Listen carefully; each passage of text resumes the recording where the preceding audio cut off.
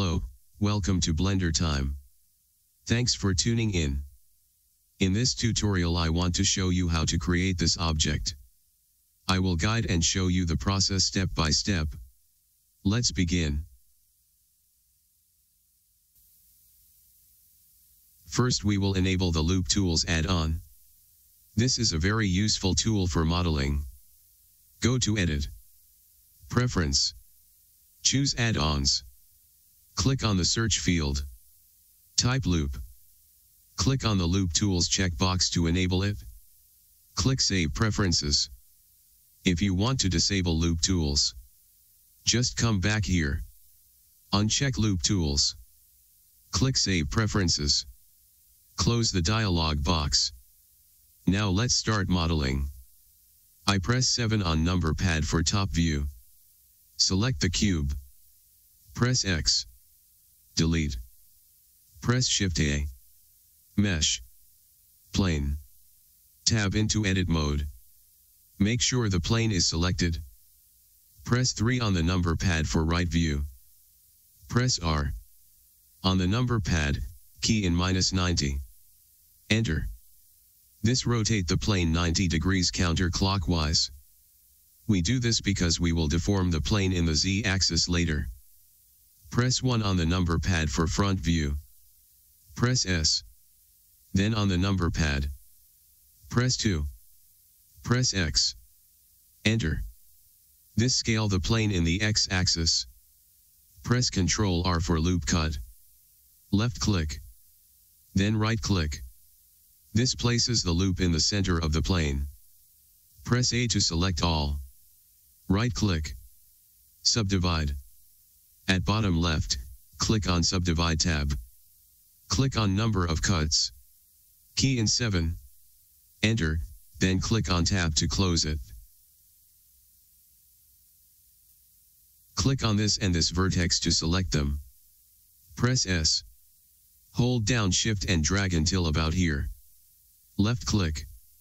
Holding down shift when dragging gives smaller increments. Select this vertex. Press and hold down Control Shift. Click on this vertex to select these faces. Press I for inset. Hold down shift and drag until about here. Left click to confirm. Now we create the hole. I rotate the view slightly. Go to shading. Change to a brighter MatCap to show you better. Press E for extrude. Drag until here. Left click. Press E. Drag until here. Left click. One more time. Press E. Drag slightly. Left click. Press I for inset. Drag slightly. Left click. Here, we have a hole with holding edges. I will zoom in and rotate the view to show you better.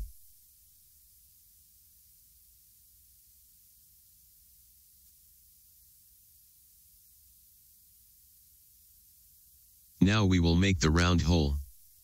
Press 1 on number pad for front view. Select this vertex. Press and hold down Ctrl Shift. Click on this vertex to select these faces. Press I for inset. Hold down shift and drag until about here. Left click to confirm. Right click. Choose loop tools. Circle. Press S to scale. This adjusts the size of the hole. Press I for inset again. Hold down shift and drag until about here. Left click to confirm. Press X. Choose faces. Notice these vertices are too close to each others. So we select these four vertices. Press S drag until about here. As you can see, the topology now is more even. Now all we have to do is smooth and bend the plane. First, tab into object mode. At the right side of the screen, click on modifier icon. Add modifier. Choose subdivision surface. Click on View. Key in 3. Enter. Right click. Shade Smooth. Click on Add Modifier. Choose Simple Deform.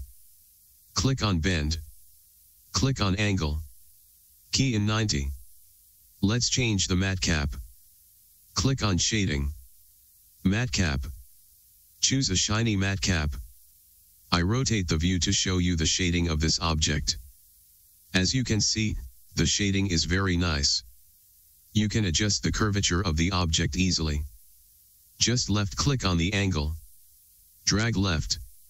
Drag right. You can also change the axis of the bend as well. Just click on axis. Choose Z. Left click on angle. Drag left and drag right to change the curve of the plane. I rotate the view again to show you the shading.